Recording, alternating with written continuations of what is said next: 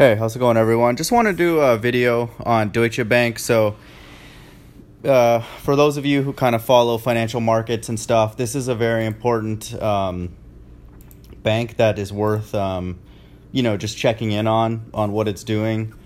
And um, so I'm just looking at the stock price right now. It's at eight dollars and thirty eight cents, and it was down over four percent today.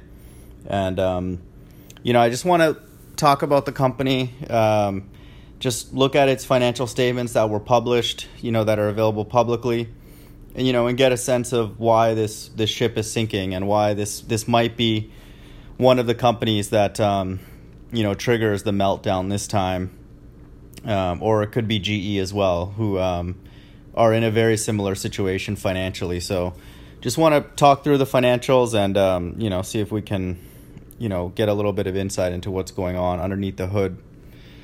So fundamentally, a company is only as good as its cash flow. You know, this is, should not be a mystery.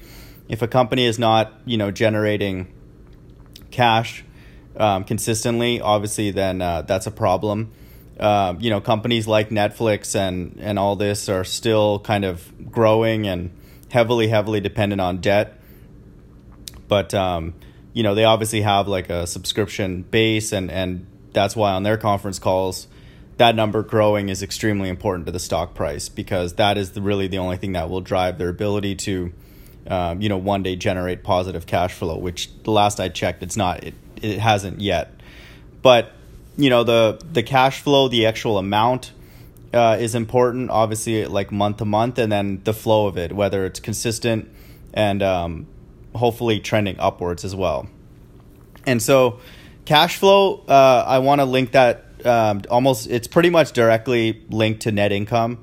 So I'm gonna we're gonna look at Deutsche Bank's um, you know uh, income statement, and um, basically net income will turn into cash given enough time. Like uh, you know all the collection uh, delays are taken into account, and um, you know that that type of thing. So we can think for now like loosely um, that net income and cash are are effectively the same thing. And so, you know, if we look at Deutsche Bank's uh, net income statement, consolidated statement of income for all their companies. The first thing that is important to notice is that there are two major line items that they generate income via net uh, interest income and commissions and fees. So you'll see, uh, it might be a little bit hard to see, but just know that those two lines are the two major ways that, that they make income, and they're roughly the same, like 50 50 split looks like uh, interest income is a little bit more typically.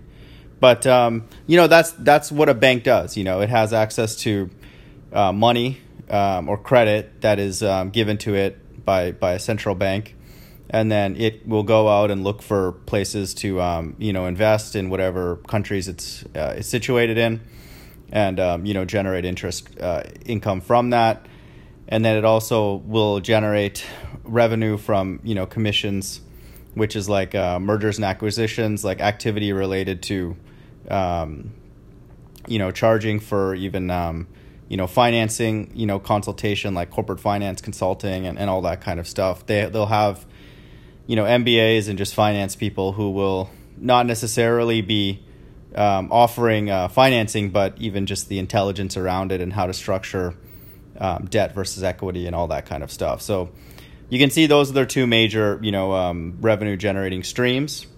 But I want to draw attention to, you know, what's going on with their income statement here. So you can also see that their two major expense line items are compensation and benefits, and um, general and administrative expenses. So, you know, comp- compensation and benefits obviously, you know, paying, you know, their employees, headcount related directly and um, SG&A are just you know overhead like just um, you know rent for their buildings, um, electricity for their buildings, computers, uh, you know everything that all the travel and all that stuff needed to um, you know acquire their their revenue streams. And so those two line items basically uh, almost uh, offset completely, and in some and in some years and some months uh, were higher uh, than their income. So if you look at the line, the bottom line that I highlighted, their net income or loss, uh, for 2016 they were actually at a loss, and so these numbers are in millions. So they were running a loss of 1.3 billion and um, you know you can see like uh, you know they have uh, looks like in Q1, Q2, and Q3 of 2017 they had a they had a positive income, but uh, at the end of the year they they took a huge loss, and um, that actually created a loss for their entire year of a 735 million for all of 2017. So they basically are uh, you know their expenses are exceeding their their revenue for all of 2017 and also for 2016. And so you can see in 2018, you know, for Q1 they have positive, you know, net income um, for Q1, Q2, and Q3, but um, they also had that for 2017, and they took a huge drawdown in, in 20 at the end of 2017 in Q4. So I have a feeling they're just year end um, adjustments they have to make, you know, and um, you know really really do a proper valuation on um, on all their loans and stuff like that. So I think that uh, again, I don't know actually, you know, what the future will hold for them in Q4, but it's possible that they could have another situation like they did in in the last two years where their Q4 you know generates a huge loss and then it actually wipes out all their gains for the whole year. But you can see they're they're basically running kind of. Uh, you know, even like they're breaking even. Let's say if we aggregate for the last couple years, they're either even or running at a loss. So they're actually like burning cash. You know, they're they're ha- they have more expenses than they have revenue to support those you know that those expenditures, and so you know obviously that has um, implications. That's not you know uh, a way a company can be run and sustained, um, even in the short term. So you know, let's take a look at their uh, balance sheet, and so just uh, for for people who are kind of new, I guess, to the accounting world, um, assets will always have to be equal to your liabilities plus owner's equity, and this this is, should make sort of you know sense intuitively because if you have an asset, you either own it yourself through equity, uh, what's called in this case shareholders' equity, uh, or someone else has loaned you the money for it. So there's only two options for how you acquire the money to get those assets, whether they be um, you know, a forklift or a truck or a building or um, whatever you know industry that that um, that you might be in. Here at, at, Deutsche Bank, the asset is is money, and so their their asset amount, uh, which would be the total of um, you know the one three one one one ninety four plus sixty two five seventy seven uh, for as of September thirtieth, twenty eighteen. The sum of those two numbers is their assets and so those would be you know cash balances and it looks and from this it'll tell you that uh, 1.31 or 1311194 of that uh, they don't own themselves so that would be uh, if you look up in the liability section at the top there would be like demand deposits time deposits savings deposits. So they're like they're us. They're like regular people's money that's sitting in there. So it's not theirs. And the piece that's theirs is represented by the shareholders equity and it's a uh, 62 577 so you can see that their what's called their debt to equity ratio is massive. I, I, I think i divided those numbers and it was like 20 some their debt is 20 times their equity and for typically for other companies or just even even other banks it's it does it's not wise to have that number you know out of the range of like 2 and 3 at the most. And this this also makes intuitive sense. Like if you imagine like Deutsche Bank as like a house uh, this means that they own like, you know, 62 577 of like a 1.311 million dollar home. You know, it's like they they own $62,000 worth of a 1.3 million dollar home. Um, not including the that these numbers are in millions, but let's just let's just assume that these are like uh, what they are. So they own like a very very very small percentage of a house. So they basically have got into you know their first home and uh, they put extremely little down um, as their first payment. Let's let's think of the sixty two thousand as their down payment on a one point three million dollar home, and that's you know that's I guess possible. You know that that people can do that if if they have you know the ability to like uh, you know uh, pay make payments and uh, make potentially large payments. And the problem with Deutsche Bank, obviously, from the previous slide, is that they're not making any money. So it would be like us buying a 1.3 million dollar home, putting our life everything we have down, $62,000 down, but not having a job. you know, like we we don't have any, uh, or we have a job, but we we're breaking even and and cannot you know make any payments on our house ever, and so it's just uh, it's just sitting there. You know, we just have this big debt that's just sitting there of 1.3 million dollars and you know we we have a we have a job but it only can pay off like our our food our car you know family stuff and all that we're not able to make a penny and and uh, in fact we're actually not even uh, able to uh, sustain ourselves in those other areas so we're running a deficit and and borrowing a little bit more just to um, make ends meet day to day. So we're not even getting to our uh, 1.3 million dollar home payments. And so that's bad you know like um, this is not a sustainable company. Uh, this just uh, the numbers just just don't work. If you're sitting on that much liability and you're not you know generating any net income or cash positive cash flow i mean that's uh, that's bad. And it's one thing if you know they they were expecting you know a change in the in the business climate to like increase and you know the the revenue will come. But you know we're so late in the cycle that um, it's going to be harder and harder for Deutsche Bank to make money you know, certainly in the next year or two, and, and I'll explain why in, in a future slide. But just from this simple, uh, this is again public information. This is their latest um, Q3 2018, you know, financial statements. But just a quick look at it shows like how you know th- they're just in really really bad shape. You know, they're just losing money and uh, they're just so heavily indebted, and they have very little retained earnings and. And I'll explain to you really what's going on. They're basically just siphoning interest uh, interest income to uh, to their employees and giving them huge bonuses. So it's very much like a short term, um, short sighted business model. So this uh, this is the natural implication. If uh, if a majority of your expenses are, you know, compensation and benefits, and you're losing money, well, then the natural thing would be to just uh, you have to fire people. You know, because you can't keep having a uh, you know negative income uh, month over month, year over year, and um, you know expect uh, your stock price to not not go to imme- you know pretty much immediately go to zero. So they have to try at least to like um, get a positive income, and at least you know give give their shareholders some hope that uh, you know they're not just going to keep running deficits and then um, shrink uh, their um, their uh, shareholders' equity every month because every month your your earnings, and this is just an accounting fact, uh, your net income rolls into your what's called retained earnings, which is the major account in your shareholders' equity. So basically, if month over month you're losing money or your net income is negative,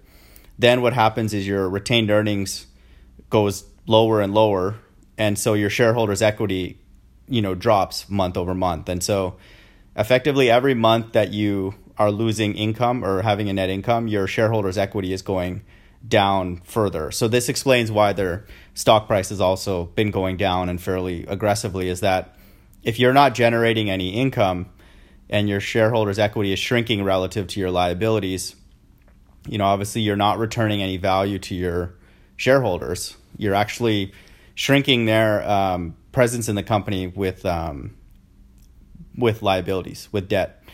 And so that's what's happening. And so they have no choice. Like I pulled this from their um, uh, their uh, shareholder um, package that their workforce reductions are on track.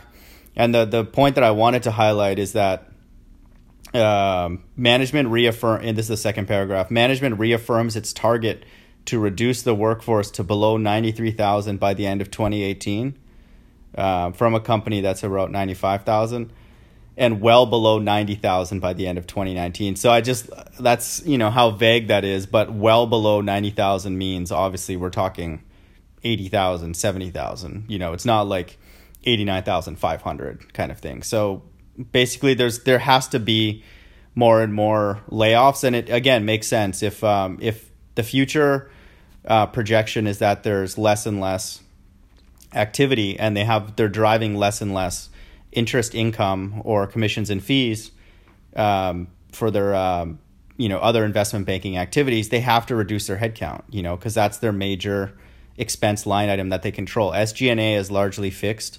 You know the buildings and the rent and the uh, you know electricity and all the computers and all that. A lot of those stuff it's hard to really you know change unless you shut down an entire building, which I have a feeling they'll be doing as well. But their first obvious thing is just to reduce the headcount because the activity is going down. So this basically implies that um, activity is slowing down. So if activity is slowing down, they're not going to be in an environment where net income will ever get positive. So it's going to continue to get negative.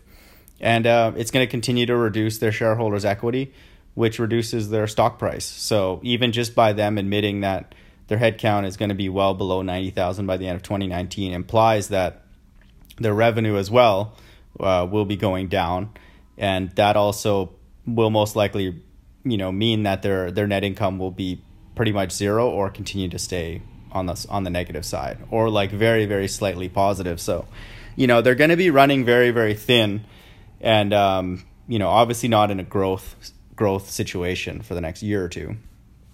But I wanted to do a quick quick slide on M and A. So we hear this term mergers and activity mergers and acquisitions, and this activity actually uh, typically intensifies pretty close to a, a bust, uh, a bear market. And so basically what happens is you have two companies and then let's say company 1 is is acquiring company 2. And then so typically this is not good for either company, but definitely you know not so good for the smaller company because what will typically happen is that they'll look for like synergies like and this is they meaning the investment bank like Deutsche Bank uh, they have an investment banking division like uh, like all the other big ones, Goldman Sachs, Morgan Stanley, and all that. They'll say they'll look for a company and then they'll they'll call you know other companies that it might acquire a target, and then they'll say like, hey, you guys, uh, you know, if you bought this company at this valuation, you know, you have um, synergies, you have overlap, you have redundancies. That if you were to go in and buy this company and remove those redundancies and then you know integrate you know the two companies together um, you know you could be operating at this this new uh, you know uh, cash flow and, and have these financials and they'll project it all out and say you know this it would be much better for you to buy them. It'll strengthen your financial position. You'd have to reduce this many people from the other company and possibly reduce one or two people from your own company uh, because that new company has that technology but maybe better um, or just removes the need for a couple people or a division and then so you can kind of trim, quote unquote, trim the fat. Um, and then, you know, you combine them together and you have this new company, um, you know, producing a new set of financial statements that are healthier uh, or more um, sort of uh, attractive um, from an investor perspective after it's combined. Not good for the individuals in the companies because obviously they're uh, they're let go. But what happens ultimately when these then this grouping happens? So Deutsche Bank makes money for structuring the deal, and that's in their commissions and fees revenue. And then so you know they they make this new company, they take their fee, their cut, and then you know there's a new company operating with like less people and more work for each person to do. You know, it's not like the work goes away. Like someone has to still do stuff. And so, you know, the individuals are typically on edge because obviously some people got laid off. Um, and then you know they're overworked, and then uh, you know Deutsche Bank gets their cut, and then the people at the top, you know, who who manage all these people, um, you know, the valuation of their company goes up, you know, so they're they're happy with that because they're typically the largest shareholders of a company, you know, the executives and the people on the on the board and all that kind of stuff. So they win, you know, and they they might want to do this more of this potentially right before that they you know sell some of their shares because obviously these kind of things typically will drive the value up. In particular the, the value of the company that's being bought goes up because they automatically know that most times that that happens people are going to get laid off. And so their expenses are going to go down but um, you know presumably their revenue will stay the same. And so that that immediately drives up their income. And like i said that goes into retained earnings which goes into shareholders equity which increases the stock price or the stock valuation. Yeah. So, or the book value is a better way to say it. So it increases the book value of the stock, which, you know, people who are watching these kind of things uh, might look at that and say, uh, you know, the book value has gone up, so you know the actual stock price. Um, you know, it would be a, it would be it would be a good investment to uh, to put money in that, and then uh, it could draw, drive the stock price up. And typically it, it gets bumped up a little bit, even on the announcement that a company is being bought. And so M&A is, again, good for the accounting, like the the numbers, the book value, the stock value, and uh, you know the the banks who are like like searching out these targets and and structuring this deal, um, but not for for the employees of the company because you know. Um, in the very least, even if the company has the same headcount, you know they're they're going to be looking for redundancies and and all that kind of stuff. Very very rarely would I would I see or think of a company being bought by another one where they're just in completely different um, you know areas and there's zero overlap because there's almost always overlap in the very least with like the accounting departments and certain departments that function and are and are needed no matter what the company is um, you know there'll always be overlap you know in those kind of like shared services type um, you know functions in a company. So there's almost always places to to lay off so or reduce headcount. So here's a quick and honest look at their in- interest income line item. So you know they have you know like i said deposits of people us in their bank they go and do this multiplier, this fractional reserve concept, and then they go and take one dollar and make it into ten dollars, and then um, through basically like a push of a button, and then they go out and look for people who need money, you know, to uh, finance whatever they're financing, whether at the personal level, like you're financing a home or your student loans or um, a car, or at the you know company is looking for what's called capital expenditures and they want to buy you know new equipment and so Deutsche Bank will be right there at the door ready to loan them money because they got you know they took one dollar and made it ten so they have a lot of money available. And um, then they just you know try and look for really anybody who needs a loan and then they're going to start charging interest and uh, they kind of hope that you um, you know miss a few payments along the way because then they could make even more money um, you know charging fees and um, you know higher interest rate and, and all that kind of stuff if you're not able to make payments in a timely manner. So in a way in the short term they're they're okay with you missing payments. Obviously long term it will lead to like defaults and then you know they're um you know it will not be good for them um, long term if they're not able to actually uh, you know uh, basically uh, sustain their their interest income um, with that person because now they've basically removed that person from the pool and then they have to go look, you know, elsewhere in the pool um, to to loan out that money. And so this is really what's going on is that they're taking you know people's everyday money for whatever stocks, their house, retirement, or whatever in their uh, Deutsche Bank account, and then they go and do fractional reserve or fractional um, banking, and then so they're able to like add a multi, you know, do a multiplier on their um, base amount of money that they have from other people, and then they go loan it out to really anybody, and then charge uh, interest on that, and then like I showed you in the income statement, a big portion of their revenue goes towards uh, compensation and benefits to these bankers. So you know this is uh, these are the two major activities that bring you know uh, institutions like Deutsche Bank revenue. So, okay, well, what is the end game to all this? To me, you know, the more you kind of get into this, it, it's obviously very much a scheme where, you know, again, banks can take $1, turn it into 10 and then literally just shop that $10 around to who anybody out there um, who needs something. But the issue with that is that once loan activity dries up and all the people out there who, you know, were looking for a loan have got one and then either ran a business with it or, um, did it and then failed, uh, or just no one else is looking for to buy anything new.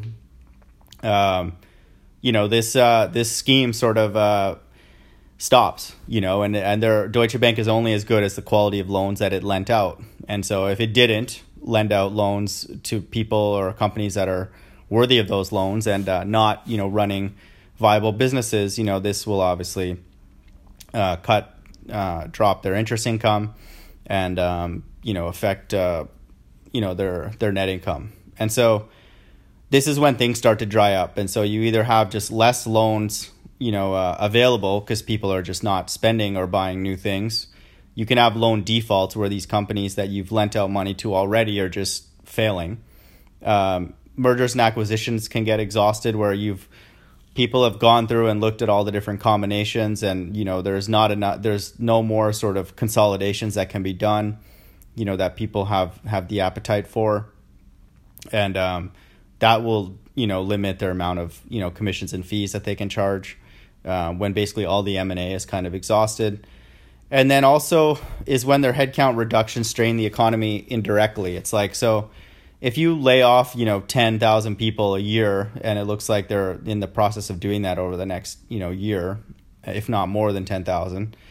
So that has issues like indirectly in the economy because you know, uh, obviously those people will potentially now be at risk to, you know, have student loan defaults, mortgage defaults, car defaults, car loan defaults and all that kind of stuff. So, and in particular, this industry is sensitive to that too because the people that work for these banks, especially the bankers, like they're kind of living a certain lifestyle, and they're they're usually in larger cities and you know expensive and all that kind of stuff. So if you have banking shrinking and struggling because it's basically the easiest business to be in to make money because the money is basically handed to you and all you have to do is assign where it goes and um, you know it's uh you know it's not really that much of a value add you know to the to the extent of how much they get rewarded for what they're doing. Um, you know to me banks struggling is like a very very last late in the game stage that things are bad because they're the ones that are doing the least amount of work and not really adding any value producing anything in this whole thing. And so they're gonna you know they're incentivized in the short term so they're gonna look for like the Snapchats and the you know the newest technology that you know is hot that you know people that they want to direct money to and might be able to generate you know revenue in in a shorter time frame. And um, you know so they can collect their interest income and, and all that kind of stuff and all their um, you know consulting fees and all that. And so it's very much a short-sighted thing because their bankers just want you know their bonus and their commissions and all that you know in that year and so it's it's a it's not um, a wise you know allocation of of that money, and so um, again, this whole the whole system we live in is very much short sighted and uh, generating as much bonus and all that for the bankers in that year. You know, they don't have an incentive to like ensure that the money that they're lending out is is useful for that you know country or that economy for the next 5 10 15 20 years you know that's not their uh, incentive. You know, they just want to make sure that they get their bonus for the next two or three years until they move on to something else. And then everybody knows that you know working in investment banking is exhaustive. They just you know work you to death. You're constantly I, I guess what they're doing is researching all these targets and producing financial models and presenting it to parent companies and saying, you know, if you buy this company, you know, they'll look like this and we'll charge only this much and then,